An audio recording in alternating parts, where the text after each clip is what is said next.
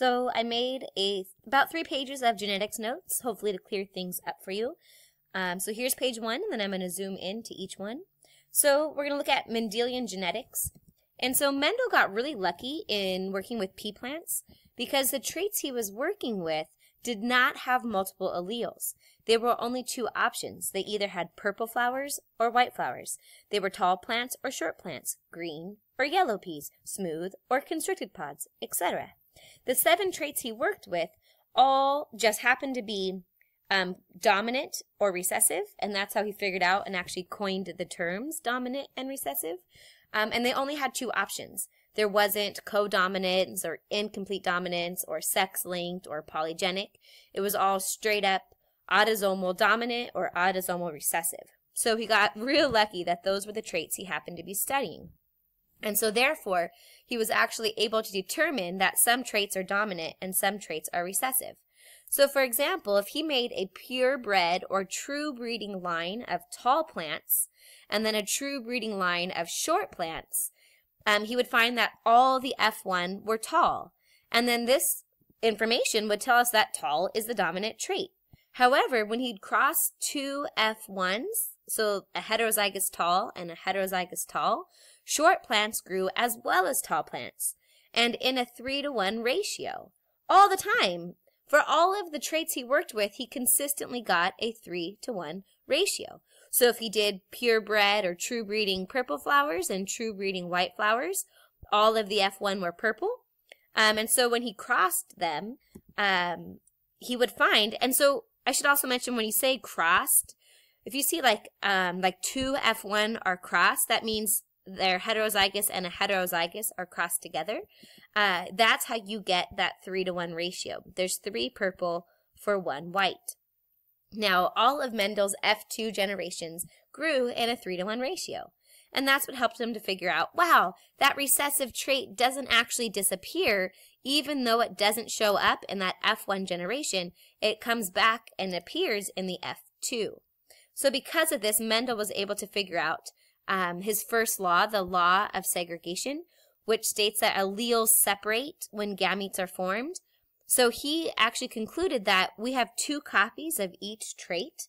Um, remember, he didn't know about chromosomes or DNA or diploid or any of that. And that's why Mendel's so amazing. Um, but he actually figured out that when gametes were formed, each gamete has only one copy. So when we do Punnett squares, that's what we're writing at the top, what is possible in that organism's gametes. Um, but like what's really happening? So here you have like the plants as well as us, we are diploid organisms. So what we're saying is if you are dominant, you make the mRNA and the protein that causes that phenotype.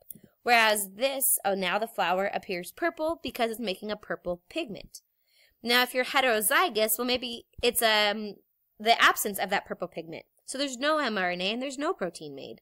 And so now this plant is heterozygous, but it has that dominant allele, so it makes that purple pigment, and now it's purple.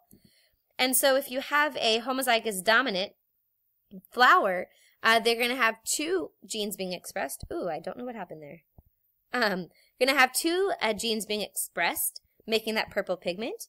A heterozygous, just one chromosome will be making that or coding for it. And then in a homozygous recessive, they both um, are not making purple pigment. So now it's a white flower.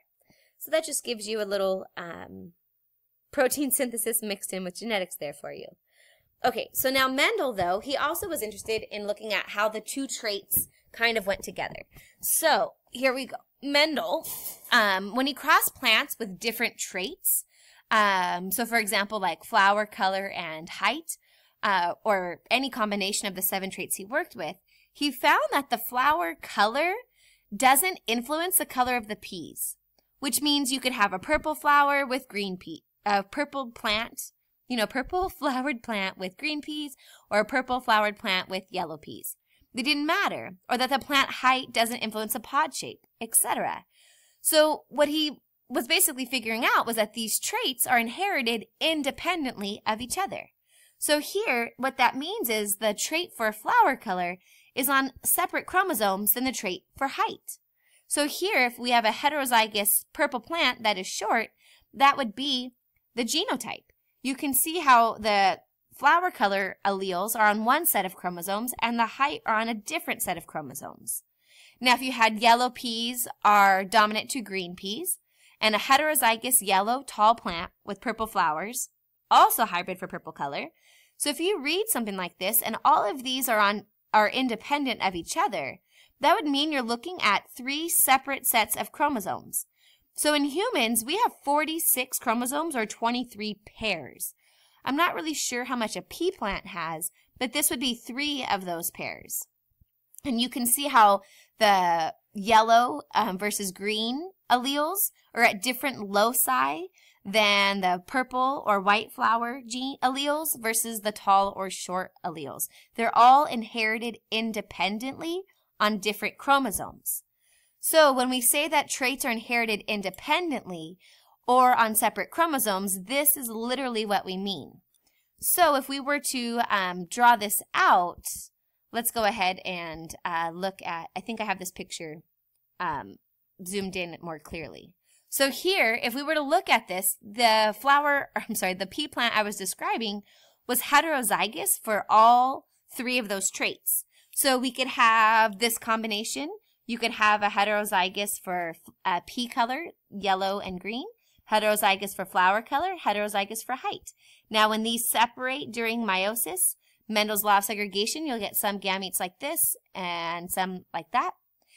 Now keep in mind this is not have this is not showing us crossing over. This is the very basics. And in real life you would have them duplicate um, and then they would double and then these would separate, etc. during meiosis. Um, but here in Mendel's law of independent assortment, this is also possible. You could put the dominant yellow allele on the right instead of on the left, etc. So now you would have a different combination in the gametes. Or you can have this, have the white allele be on the left and the purple allele be on the right. And now the tall one's on the right and the short one's on the left.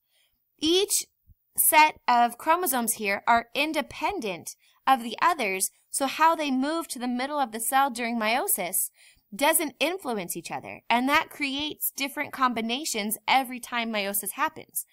So every time this plant goes through meiosis and makes gametes, there's different possibilities. I'm only showing three right here, but there's lots of different combinations. In humans, with our 46, I mean, sorry, our 23 pairs lined up, we have 8 million different possibilities. And that's not even counting our crossing over creating variation. So let's go ahead and see what this looks like in meiosis. So if I were to take, I'm taking this um, plant right here, and I'm going to put it into uh, meiosis. Actually, it could be any of these, truthfully, but uh, here we go. So if we look at interphase, you see that we have two copies of each gene. Um, even though they're different alleles, like this one right here is tall, I mean yellow, and that says green. Um, but there's two of each one because it's a diploid organism. So you can see how there's two. Um, and then this is G1 interphase. Oh, shoot. And, oh, man. Um, oh, I'm in paint. Uh, you can see here we're in G1 or interphase. Then in S phase, the chromosomes duplicate. So now these are two like capital Y's. Um, here's capital F's. So now you have sister chromatids attached. Now, later on, at the end of meiosis, you're going to have um, four haploid cells. And if you look, here's one, two, three, four of each gene. So that's how you're going to get four cells with only one copy each. Hopefully I'm not confusing you too much. So here's S phase. Um, the, the, the chromosomes duplicate and now you have sister chromatids. Then we go into the beginning of meiosis. And this is where the homologous pairs or the matching chromosomes are going to pair up. So they find each other. So this one has the genes for flower color, this has plant height, and this one has pea color and they find each other and they pair up and this is also where crossing over is going to occur. Now, I didn't show crossing over in this diagram, but know that these sister chromatids that are touching will be crossing over, um, increasing variation. Now, the next step is that these homologous pairs are going to move to the middle of the cell. Now, this is Mendel's law of independent assortment here, um, because like I saw on the previous slide, like these dominant, oops, purple alleles could have very easily ended up on this side. And so how they move to the middle of the cell is um, random and unique every time. Now, our next step in meiosis are these homologous pairs are going to get pulled apart. And so you can see um, that the Y, the F, and the T alleles are not linked. They are all on separate chromosomes. And right here, this is now Mendel's law of, or starting Mendel's law of segregation. Uh, the alleles are going to separate. And then these are spindle fibers. Oh my gosh, the alleles aren't separating. The homologous pairs are separating. And then you can see here that cytokinesis occurs. And then we need to uh, have the chromosomes move to the middle of the cell again. And now here's Mendel's second law, the law of segregation, where the alleles are going to separate. And now you have your four haploid gametes. And so that is meiosis, showing not linked genes. Now this is just a blurry picture of that. So now let's pretend that um, you have a true breeding purple tall plant.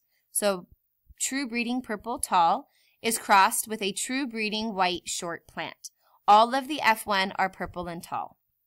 So the F1 are test crossed. Test cross means you're crossed with a homozygous recessive for both traits.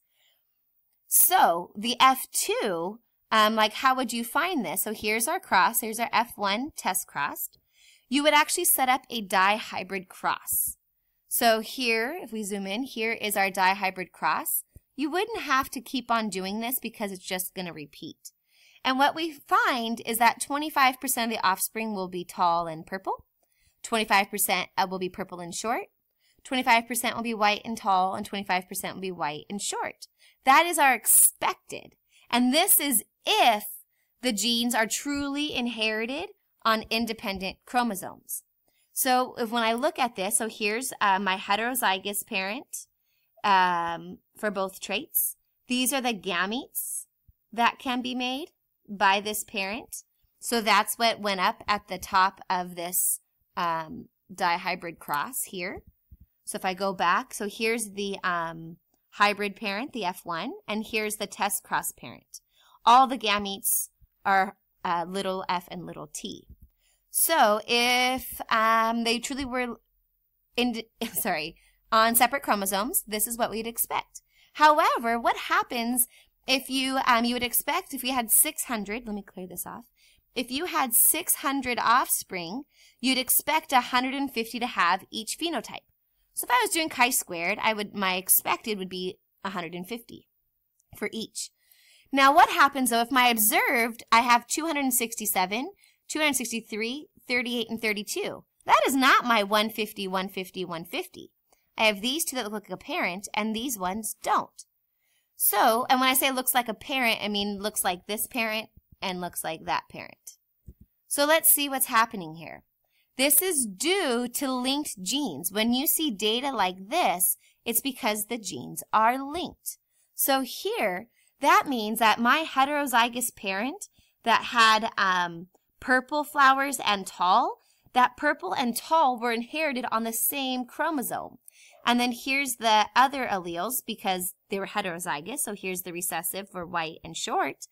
And so the other parent that's test cross, all the gametes look like this. So when I look at um, what's happening, if I take and cross um, this parent with this, with one of the gametes, the offspring are going to look like this. If I take this parent or this gamete mixed with this one, the offspring will look like this. So earlier when I said that they look like the parents, that's how we formed this one and this one. Those were our parental. Now, but what about those ones that were in the middle? Well, that's due to crossing over. Because they were linked genes, when they cross over right here, this uh, sister chromatid is going to have the dominant purple with a short, and now this one will have a white with a tall. So now these are what's going to form our recombinant offspring. When they, they fertilize, so here I have this purple and short, gets fertilized by the sperm that was white and short, well, I'm going to have a purple short plant. And when this one gets fertilized, I'm going to have a white tall plant. And so these are our recombinant offspring and they're the results of crossing over. And that's how you can tell if genes are linked or independently inherited.